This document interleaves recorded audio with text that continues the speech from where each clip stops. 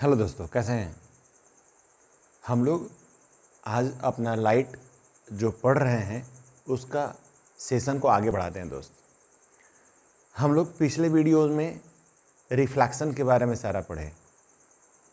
Plane mirror पढ़े concave mirror पढ़े convex mirror पढ़े मिरर फार्मूला पढ़े मैग्नीफिकेशन पढ़े इमेजेस कैसे फॉर्म होता है वो पढ़े। कुछ प्रॉब्लम भी सॉल्व किए। अब हम लोग पढ़ेंगे दोस्त रिफ्रैक्शन तो रिफ्रैक्शन क्या होता है? रिफ्रैक्शन को हम लोग बोलते हैं दोस्त हिंदी में अपवर्तन। ठीक है? अपवर्तन क्या होता है? रिफ्रैक्शन क्या होता है? तो अगर हम लेमैन भाषा में बोलें, एकदम बेसिक्स की तरह बात करें तो लाइट का मुड़ना, यानी कि bending of light is known as refraction तब आप हमसे पूछेंगे कि, सर, लाइट कैसे मुड़ जाता है? लाइट तो सर ऐसे आ रही है, देखिए रोशनी जल रही है। लाइट मुड़ कैसे रही है? तो लाइट ऐसे नहीं मुड़ती दोस्त। लाइट का स्पीड भी हम लोग जानते हैं। तकरीबन 2.99 करके हम लोग पहले ही पढ़े थे। इसको हम लोग थ्री पकड़ लेते हैं। तीन लाख किलोमीटर पर सेकेंड की स्पीड से ये मूव करती है। तो ये बेंड कैसे करती है? अब कैसे बेंड करती है? अगर हम यूँ कहें कि लाइट जब एक मीडियम से दूसरे मीडियम में जाती है तो आप बोलेंगे, सर, मीडियम का मतलब क्या होता है? मीडियम, जैसे अभी हम लोग के सामने एयर है, ठीक है? एयर एक मीडियम हो सकता है, माध्यम। वही अगर हम पानी रख दें, एक मग पानी रख दें या एक बाल्टी पानी रख दें, एक जग पानी रख दें तो वो एक अलग मीडियम हो सकता है, नदी हो सकता है, तालाब हो सकता है। या यूँ कहें कि एक कोई ग्लास रख दें। क्या करेंगे? ग्लास रख दें। ट्रांसपेरेंट ग्लास होता है ना? ग्लास स्लैब होता है, उसमें रख दें। तो आप क्या देखेंगे कि लाइट जब एक मीडियम से दूसरे मीडियम में आती है तो वो बेंड करती है। तब आप पूछेंगे, सर, कैसे बेंड करती है? तो हम बोलेंगे कि, भैया इसका जो स्पीड है ना, वो घट जाता है। इसकी एनर्जी कुछ घट जाती है। इसलिए बेंड कर जाती है। तो आप बोलेंगे, सर, समझ में नहीं आया। सिंपल एक एग्जांपल देते हैं। मान लेते हैं आप सड़क पे जा रहे हैं। आपकी गाड़ी की स्पीड बहुत अच्छी है, सत्तर अस्सी की स्पीड से आप जा रहे हैं। साठ की स्पीड से जा रहे हैं, पचास की स्पीड से जा रहे हैं। अचानक से देखेंगे क्या, रास्ते में बहुत भीड़ हो गई, बाज़ार में आप चले गए। और वहाँ पर बहुत भीड़ होती है, बाज़ार में आप जानते हैं बहुत भीड़ होती है। ट्रैफ़िक बहुत ज़्यादा होता है। आप उस रास्ते पे होते हैं, ट्रैफ़िक बहुत होता है। आप क्रॉस नहीं कर पाते हैं, आपकी गाड़ी की स्पीड कम हो जाती है। फिर धीरे धीरे कर करके आप उस ट्रैफ़िक से बाहर निकलते हैं और क्या देखते हैं कि आपकी गाड़ी, रोड फिर आपको साफ़ मिलता है, आप गाड़ी को फिर तेज़ भगा लेते हैं। जब गाड़ी आप तेज़ भगा रहे होते हैं तो क्या होता है? पहले तेज़ थी, फिर स्लो हुई because of traffic and then इसकी स्पीड तेज हो गई। What does it mean it means कि जैसे उसको ट्रैफ़िक मिलती है तो वो स्लो हो जाती है, फिर again it regains its speed अपना ठीक वही फिलॉसफी यहाँ भी लागू होता है। रिफ्रैक्शन भी बिल्कुल वैसे ही है। लाइट मूव कर रही है। अगर सामने में कोई दूसरा मीडियम डाल देंगे तो वो बेंड करेगी, फिर जब उससे निकलेगी तो अपने उसी रफ्तार से निकलेगी। जैसे कुछ एग्ज़ाम्पल हम आपको बताएँ, जैसे हम आपको भी बताए हैं, आप समझने की कोशिश करें मीडियम में कैसे लाइट पास करती है। जैसे मान लेते हैं, ये एक ग्लास स्लैब है। क्या है? ग्लास स्लैब है। लाइट अगर आती है ऐसे तो क्या होगा? एक्चुअली होना क्या चाहिए था? लाइट को ऐसे पार कर जाना चाहिए था। बट लाइट ऐसा नहीं आती है। ठीक है लाइट ऐसे नहीं आती लाइट बेंड करती है। तो इसी को क्या बोलते हैं? Bending of light bending of light is known as what refraction क्या बोलते हैं इसको? रिफ्रैक्शन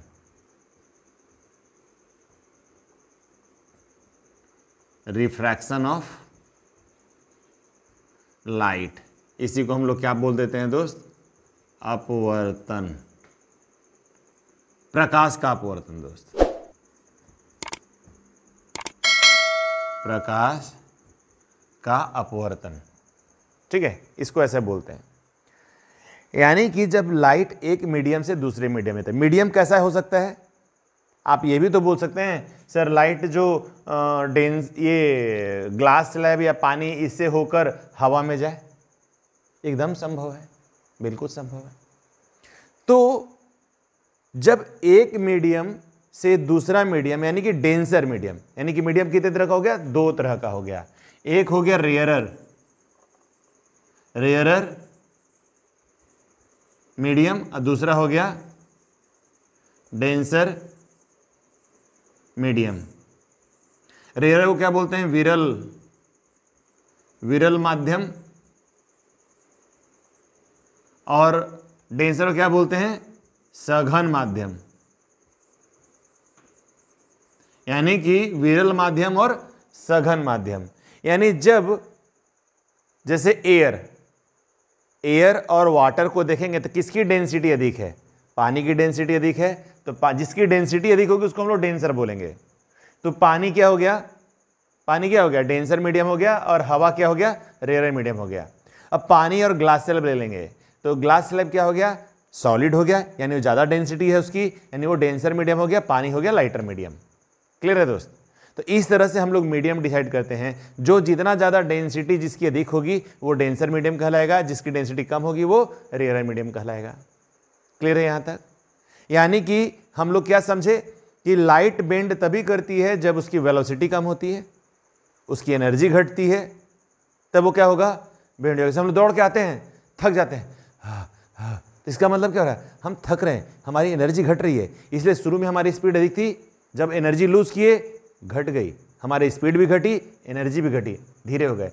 फिर कुछ खाए, पिए एनर्जाइज हुए, फिर तेज़ दौड़े। यही चीज़ लाइट के साथ भी होता है। ठीक है? तो अब हम समझेंगे रिफ्रैक्शन कैसे होता है। रिफ्रैक्शन कैसे होता है? रिफ्रैक्शन का तीन नियम होता है दोस्त। रिफ्रैक्शन का तीन नियम होता है। कौन कौन होता है तीन नियम? हम लोग समझने की कोशिश करते हैं। समझने की कोशिश करते हैं दोस्त रिफ्रैक्शन रिफ्लेक्शन क्या बोलता है कि अगर कोई लाइट अगर कोई लाइट एक मीडियम से दूसरे मीडियम में जाती है, अगर हम यूँ कहें कि रेयरर मीडियम से डेंसर मीडियम में आती है तो मान लेते हैं ये एक डिवाइडर है, जो कि दो मीडियम को सेग्रीगेट कर रहा है। ऊपर में हम अगर हम रेयरर मीडियम मान लेते हैं, और नीचे में अगर हम डेंसर मीडियम मान लेते हैं तो लाइट जब आती है रेयरर मीडियम से डेंसर मीडियम में। तो हम जानते हैं कि जिस पॉइंट पे आती है, उसको हम लोग पॉइंट ऑफ़ इंसिडेंस बोलते हैं, ठीक है? तो अगर इसको, इसके ऊपर हम लोग एक नॉर्मल ड्रॉ कर दें तो क्या हो गया? ये हमारा एम एम डैश अगर मान लेते हैं कि एक बाउंड्री है, जो कि रेयर मीडियम और डेंसर मीडियम को बाइफर्केट करती है, ये हमारा नॉर्मल है, ये हमारा लाइट इंसिडेंट कर रही है तो आप क्या करेंगे? यहाँ देखेंगे लाइट कैसे? अगर लाइट आ रही है तो ऊपर वाले सेक्शन को क्या बोलेंगे? Plane of incidence plane of incidence इसको क्या बोलते हैं दोस्त? प्लेन ऑफ़ इंसिडेंस इसको बोलते हैं। Plane of refraction plane of plane of refraction बोलते हैं प्लेन ऑफ़ इंसिडेंस बोलते हैं दोस्तों क्यों? क्योंकि लाइट इसमें आती है और इसमें आकर बेंड करती है। ठीक है? तो नॉर्मल तो हमारा ऐसे ही रहेगा। तो लाइट क्या करती है? कहता क्या है कि plane of incidence and plane of refraction ये दोनों क्या है? हमारे इस पेज पे एक ही तरफ़ दिख रहा है। मतलब ये दोनों एक ही प्लेन में होंगे। प्लेन ऑफ़ इंसिडेंस और प्लेन ऑफ़ रिफ्रैक्शन दोनों एक ही प्लेन में होंगे, ये पहला नियम बोलता है। ठीक है? पहला नियम क्या बोला? दोनों सेम प्लेन में होंगे। क्या बोलता है? सेम प्लेन कौन? प्लेन ऑफ़ इंसिडेंस और प्लेन ऑफ़ रिफ्रैक्शन यानी कि P I and P R along with normal ये तीनों क्या होंगे? सेम प्लेन में होंगे। नॉर्मल इंसिडेंस और रिफ्रैक्शन ठीक है? दूसरा नियम क्या बोलते हैं? अगर लाइट एक मीडियम से दूसरे मीडियम में आ रही है तो इसके फ्रीक्वेंसी में कोई बदलाव नहीं होगा। हाँ? क्या बोलता है? No change in frequency no change in frequency तो क्या होगा? फ्रीक्वेंसी में कोई बदलाव नहीं होगा। तो बदलाव कहाँ होगा? Change in velocity change in velocity होगी। यानी इसकी वेलोसिटी में बदलाव होगा। दूसरा क्या होगा? Change in wavelength change in wavelength wavelength बोले तो कलर के लिए। फॉर कलर ये क्या होगा? इसमें बदलाव होगा। पहला क्या बोले? दोनों प्लेन सेम होगा। दूसरा, कोई फ्रीक्वेंसी में कोई चेंज नहीं होगी। वेलोसिटी में बदलाव होगा। वेवलेंथ में बदलाव होगा। कलर के लिए जो हम लोग कलर बदलता है तो उसमें। इसको हम लोग पकड़ेंगे। तीसरा, क्या लॉ बोलता है? ये लॉ ऑफ़ रिफ्रैक्शन है। क्या है दोस्त? लॉ ऑफ़ रिफ्रैक्शन है दोस्त। अपवर्तन के नियम। क्या बोलते हैं इसको? अपवर्तन के नियम। अपवर्तन का नियम। इस तरह से अपवर्तन होता है। तीसरा तीसरा बोलता है। अब समझिए इसको। ये इंसिडेंट रे है। इंसिडेंट रे है और ये क्या है? रिफ्रैक्टेड रे तब नाम एक बार फटाफट रख दिया जाए। मान लो पॉइंट ओ है, ये एन है, ये ए है इस पॉइंट को अगर बी रख दिया जाए तो क्या हो जाएगा? एन डैश लिख देते हैं इसको। तो ए ओ जो है इंसिडेंस रे है। इंसिडेंट रे इसको क्या बोलते हैं? रिफ्रैक्टेड रे रिफ्रैक्टेड रे ठीक है? इसको क्या बोल देते हैं? नॉर्मल इसको क्या बोलते हैं? पॉइंट ऑफ़ इंसिडेंस ठीक है? इस एंगल को बोलते हैं आई इसको क्या बोल देते हैं? आर ठीक है? तो क्या बोलता है third law sine i upon sine r is equal to constant ये देने वाले कौन थे? स्नेल साहब थे। इसको स्नेल्स लॉ भी बोलते हैं दोस्त। देने वाले कौन थे? स्नेल साहब थे। मतलब अगर ये मीडियम फिक्स है और ये मीडियम भी है तो कभी भी अगर आप चेक करेंगे तो ये जो साइन आई और साइन आर का जो रेशियो है, ये हमेशा कांस्टेंट होगा। मतलब लाइट उतनी ही बेंड करेगी इस मीडियम में। अगर हम रेयर से ये मीडियम मान लेते हैं ये एयर है, मान लेते हैं ये एयर है और ये मान लेते हैं ग्लास है। ये एयर है और ये ग्लास है तो हमेशा अगर इसी तरह ग्लास है तो हमेशा बेंडिंग का जो ये जो सिस्टम है वो कितना बेंड करेगा, ये हमेशा इसी तरह से बेंड करेगा। ये हमेशा कांस्टेंट रहेगा। चाहे इसको किसी एंगल से भी आप इसको बेंड करवाइए। अगर आप आई को बढ़ाएँगे तो इधर आर भी उस अकॉर्डिंगली बढ़ेगा या घटेगा। ठीक है? तो अब यहाँ पर ये बेंड कैसे होता है, अब आप समझिए। बेंड होने के लिए क्या होता है? जब कोई लाइट रेयरर से डेंसर में आती है। लाइट जब रेयरर से डेंसर में आती है मतलब विरल माध्यम से सघन माध्यम में आती है। ऊपर में क्या है? विरल माध्यम, है ना? विरल माध्यम है और नीचे क्या है? सघन माध्यम है। यानी कि लाइट जब सघन विरल से सघन में, यानी कि रेयर टू डेंसर आती है तो क्या होता है? ये अपने नॉर्मल की तरफ़ बेंड हो जाती है। ये क्या है? नॉर्मल है। नॉर्मल है? नॉर्मल की तरफ़ बेंड हो गई। आना चाहिए था इसको ऐसे। इसको थोड़ा क्लीन बना लिया जाए, थोड़ा इसको इरेज कर दिया जाए। ठीक है दोस्त? समझ लीजिएगा इसको? इसको थोड़ा क्लीन करते हैं, थोड़ा समझने में और मज़ा आएगा दोस्त। ये बहुत ही मज़ेदार चैप्टर है। जितना बढ़िया समझेंगे, उतना ही मज़ा आएगा दोस्त। इससे बहुत सारा न्यूमेरिकल बनेगा। कॉम्पिटिटिव लेवल में तो बहुत सारा एकेडमिक्स में तो आता ही है दोस्त। बताने की क्या ज़रूरत है? अब क्या है, जब लाइट को कैसे आना चाहिए था? यहाँ इसको भी थोड़ा सा साफ़ कर दिया जाए। नाम को हटा के इसको थोड़ा सा क्लीन कर लिया जाए दोस्त। ठीक है? इस सबको हटा देते हैं। सब हटाते हैं। थोड़ा मज़ा आएगा बनाने में। ठीक है? देखिए लाइट को एक्चुअली आना कैसे चाहिए था? लाइट को एक्चुअली ऐसे आना चाहिए था। ठीक है? ये एक्चुअली लाइट का एक्चुअल पाथ है। ये पाथ से क्या हुआ? टूवर्ड्स नॉर्मल यानी कि टूवर्ड्स नॉर्मल ये बेंड कर गई। क्यों बेंड की? बिकॉज़ दिस रे अगर ये जो लाइट है, ये जो रे है रेयर टू डेंसर में जैसे ही आई, यानी कि जब खाली रोड से भरी हुई रोड में आई ट्रैफ़िक वाले रोड में आई तो इसकी एनर्जी घट गई। इसकी वेलोसिटी घट गई तो क्या होगा? बेचारा थक गया, थका तो आके बैठ गया, यानी कि नॉर्मल की तरफ़ झुक गई। Light bends towards normal normal की तरफ़ झुक जाती है when it comes from rare to denser ठीक है? तो नॉर्मल की तरफ़ बेंड कर गई। ठीक है? तो ये हमको बहुत इंपॉर्टेंट चीज़ है जो हमको समझना है। यही चीज़ अगर हम इसको डेंसर टू रेयर में लेकर जाते अब इसमें एक और हम मीडियम डाल दें। नॉर्मल, ये लाइट अगर ऐसे आती ऐसे आती, इसको सीधा लाइट को ऐसे कर लें और एक नॉर्मल यहाँ ड्रॉ कर दें। ठीक है? तो जब डेंसर से रेयर में आती तो नॉर्मल से दूर भागती। नॉर्मल से दूर, एक्चुअली जाना कैसे चाहिए था इसको? ऐसे आना चाहिए था। लाइट कही तो होगा ना, रास्ता। ऐसे आती, ऐसे चली जाती। बट क्या हुआ? ये नॉर्मल से और दूर भाग गई। देख रहे हैं? ये वाला इतना ज़्यादा स्पेस लेके निकली।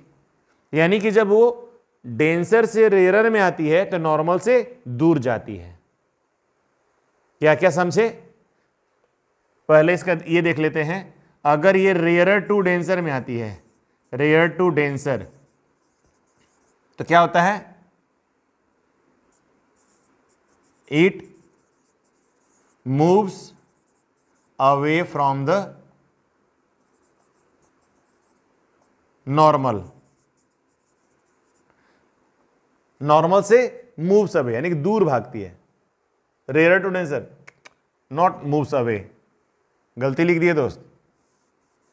It doesn't moves away it bends towards the normal it bends towards the normal normal की तरफ़ मुड़ जाती है। अगर वो रेयर टू डेंसर में आती है तो। When it comes from denser to rare अगर यही जब डेंसर टू रेयर होता है तो क्या होता है? It moves away from the normal क्या होता है? It moves away from the normal. Normal से दूर भागती है। डेंसर में नॉर्मल के नज़दीक भागती है रेयर में नॉर्मल से दूर भागती है। जब वो डेंसर टू रेरर में आती है तो। ये सब इसकी बेंडिंग प्रॉपर्टी है दोस्त, थोड़ा ध्यान में रखना है। ये ज़रूरी होगा हम लोग को आगे समझने में और बहुत हेल्प करेगा। यहाँ से पूरा क्लियर हो रहा है दोस्त? इस तरह से हम लोग रिफ्रैक्शन समझ रहे हैं। एक बार देख लीजिए बढ़िया से। क्योंकि हम लोग आगे अभी कंटिन्यू करने वाले हैं दोस्त। मतलब हम लोग क्या सीखे यहाँ पर? लाइट जो है हमारा, कैसे? जब रेयर टू डेंसर में आती है। रेयर टू डेंसर में आती है तो क्या हो जाता है दोस्त? रेयर टू डेंसर में आएगा तो इसका एक्चुअल पाथ ये है। यहाँ से इसमें आएगी तो नॉर्मल के नज़दीक हो जाएगी। और जब यहाँ डेंसर टू रेयर में जाएगी तो क्या होगा? डेंसर टू रेयर में आएगी तो नॉर्मल से दूर भागेगी। क्लियर है? तो आज हम लोग दोस्त रिफ्रैक्शन समझे हैं। अगले वीडियो में हम लोग इसके और भी कुछ प्रॉपर्टीज़ के बारे में समझेंगे। कैसे लाइट बेंड करती है उसके बारे में समझेंगे। और कुछ प्रॉब्लम भी सॉल्व करेंगे दोस्त। ठीक है? मिलते हैं अगले वीडियो में।